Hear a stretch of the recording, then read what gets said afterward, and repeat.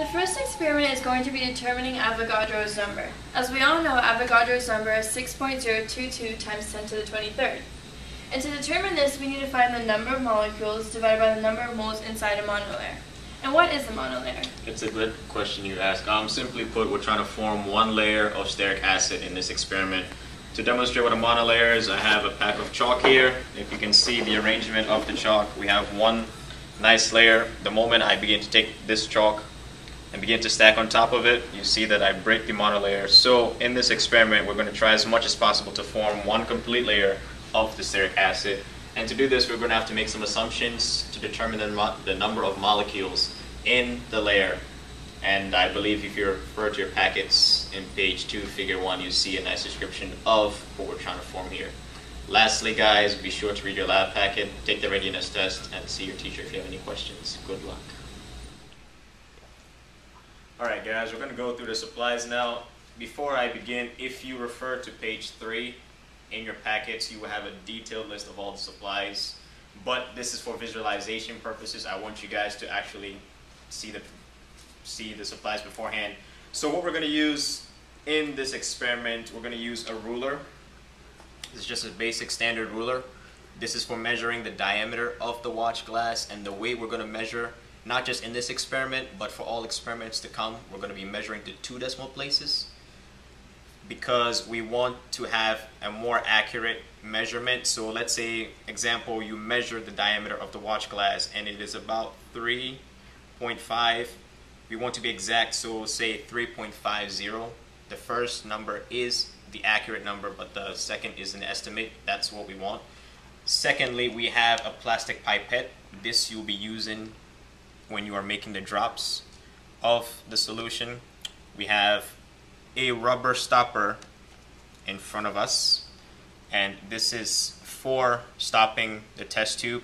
Now remember in this test tube we're going to have our hexane solution and note that once the solution is in the test tube quickly put the stopper in there make sure that it's properly secured. We do not want to lose any of the hexane in the evaporation because if that happens the concentration will be affected and we do not want to have any skew in our data. And lastly we have the wash bottles. This is simply to put distilled water in there. If you read your packets, you know. And then lastly, we have the watch glass, which is currently being cleansed in sodium hydroxide right now. And if you see the way she's holding the watch glass, she's making, she's not touching it by the center, she's holding it by the edges. And this is simply because we do not want any contamination of the watch glass. Note that she has the rubber, the gloves beforehand I would advise wearing the gloves beforehand you touch the glass so that any grease on your hand does not contaminate it. Again, we're trying to form the monolayer, so make note that we don't want any contamination, anything to affect our data.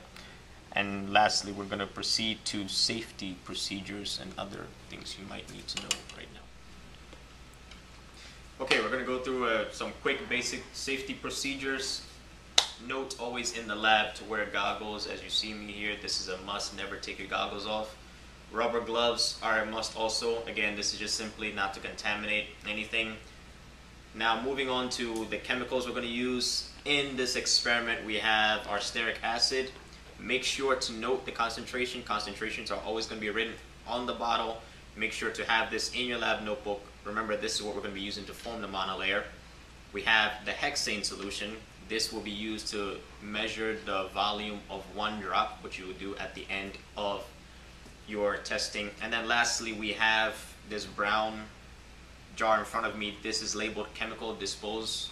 This is where you put all waste materials, never dump in the sink. This is where everything goes. Okay, now we're going to move on to the procedure, which is in the third page of your lab packets. So what we're going to do, your first step is going to be to fill the wash bottle with distilled water and also get one of the watch glasses wearing your rubber gloves and place it on top of a beaker so you can see the monolayer forming. You're also going to want to um, fill the test tube with about 3 to 4 milliliters of the stearic acid in the hexane solution and make sure you stop it immediately. Um, you will then fill the watch glass with the distilled water up to the brim. And then you are going to take your plastic pipette put it into the stearic acid solution in the hexane, and make sure you're holding it vertically over the watch glass and applying consistent pressure, and add drop by drop the stearic acid solution, making sure that you're recording the number of drops. And remember, this is a slow process and usually takes about 5 to 12 drops. And you're just going to wait and watch the hexane slowly uh, form the monolayer. Eventually, as you're adding the drops, they're going to start to spread slower and slower. And then, you know you've hit the ending point when you drop one drop on the surface and it stays at the top like a contact lens on the top of the water. You can see the solution in a circle on the top of the water. Now just make sure that you repeat your process until your results agree between one to two drops for accuracy. Now we're going to take our hexane solution to calibrate the volume of one single drop of solution. And as you can see, you once again drop by drop into the graduated cylinder to see how many drops it takes to form one milliliter. And this is important because we're going to use this data to calculate the volume of the monolayer. So as you can see, drop by drop, keep track of the number of drops. And when you're done, you repeat again, try and get consistent data, try and get within at least one to two drops each time. So in conclusion, we're going to go over the measurements that you need to have recorded in your lab notebook. First is the number of drops to form the monolayer. Second is the volume of one drop, which through a calculation you can determine the volume of the monolayer. Third is the concentrations of the chemicals, which can be found on the bottles. And fourth, the diameter of the watch glass. Now with all of these measurements, you need to make sure that you have the proper units and significant figures because they're going to change experiment to experiment.